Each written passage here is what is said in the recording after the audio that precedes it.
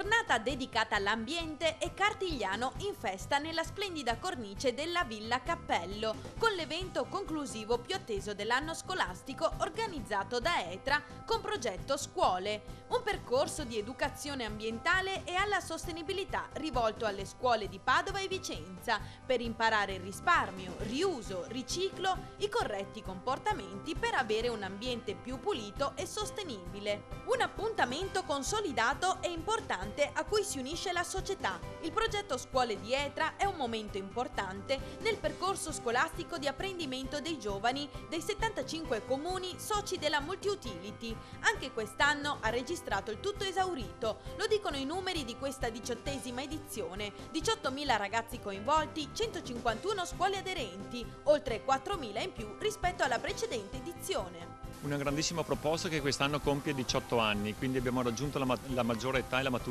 Una proposta unica, omogenea, unitaria, di crescita e di sostenibilità ambientale, di cultura e di partecipazione attiva da parte di quelli che saranno domani i nostri veri cittadini. Ah, infine si premiano questi ragazzi per eh, la complicità che hanno anche fra di loro. Certamente, il fare le cose assieme, vedere che gli adulti e i bambini si mettono assieme, collaborano e mettono le mani in pasta e quindi si mettono in gioco è la cosa più bella.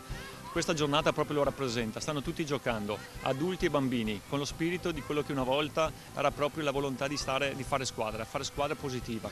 E cerca di aiutare, di agevolare queste iniziative, proprio perché il nostro compito, la nostra missione è essere d'aiuto agli altri cerchiamo proprio di allargare anche la gamma delle nostre proposte, perché oggi le necessità del mondo sono tantissime, le proposte devono essere pari pari alle loro necessità e credo che su questo ci stiamo organizzando e, e tutto sommato posso dire che ho dei bravissimi collaboratori per poter fare queste proposte.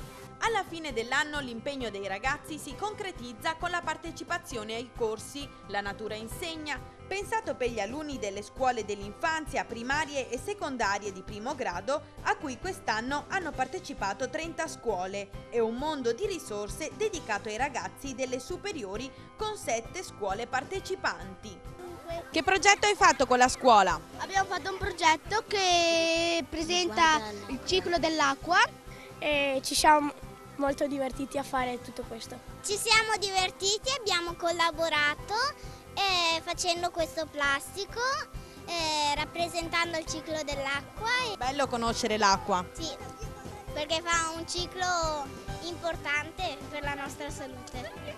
Il primo premio se l'è aggiudicato la sezione media della scuola d'infanzia Santissimo Redentore di Fellette di Romano, con il lavoro sul risparmio idrico. Il premio copertina la terza A delle medie di Mason Vicentino con lavoro sul fotovoltaico. Sei divertita a fare il progetto con i tuoi compagni di classe? Sì, abbiamo colorato. Ciao Abbiamo fatto... Aspetta che ci